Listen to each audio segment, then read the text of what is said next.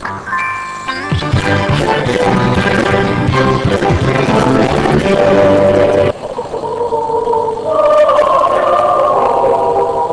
Սիրվարդ Լևոնյանը Փարոս երգչախմբի նոր անդամն է։ Երգում է վաղուց, սակայն երգչախմբում է արդեն 3 ամիս։ Ասում է, որ իրեն այստեղ շատ է դուր գալիս։ Ինչպես երգչախմբի անդամներից շատերը նրա մոտ էլ հաշմանդամությունը ի ծնե չի եղել։ Իր կյանքի 25 տարիներից 10-ն անցկացրել է անվասայլակին գանված, իսկ մինչ այդ ապրել է լիարժեք կյանքով։ Սակայն ոչ Սիրվարդը եւ ոչ էլ իր ընտանիքի անդամները չեն հուսալքվում, հավատալով, որ արտերկրում բուժվելու դեպքում այս կենսախին գեղեցկունին մի օր նորից կքայլի։ Լավատեսական դրամատրություններին նպաստում են նաեւ երգչախմբի հետ փորձերը, իսկ այս համերգը նրա առաջին դեմելն է։ Ես սկզբից երկար եմ մտածում այցելել երգչախմբում թե ոչ, բայց այնքան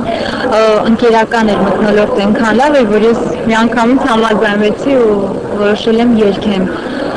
Մեծ ծրագիր ունենք, շատ բարդ ծրագիր է, բոլորն էլ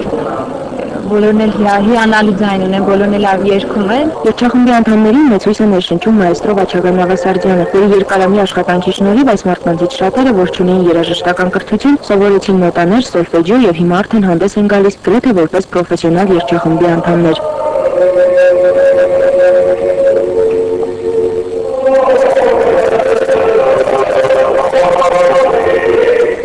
Երգչախմբի անդամներից շատերը ունեն ողնուղեղային վնասվածք եւ այդ վիճակում են հայտնվել 88-ի երկրաշարժից հետո, ինչպես երգչախմբի հիմնադիր Արմեն Ալավերդյանը։ Այսօրվա համերգը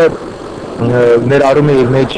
նոր, շատ նոր երգեր, բավականին բարդ եւ հետաքրքիր ծրագիր է եւ